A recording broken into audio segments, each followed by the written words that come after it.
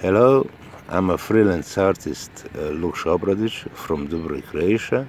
I live here. I am a painter. I create here, and I'm a member of the Fine Art America Com, and uh, I'm uh, have behind me